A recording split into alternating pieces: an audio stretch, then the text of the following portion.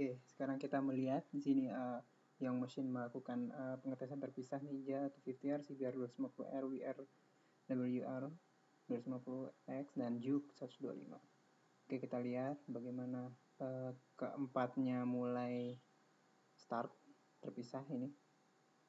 Di sini uh, yang mesin melakukan pengetesan secara terpisah terhadap keempatnya. Kita lihat di 2R pertama 250 masih uh, memimpin akan tetapi uh, CBR 250 terlihat mengambil pad racing line lebih dalam.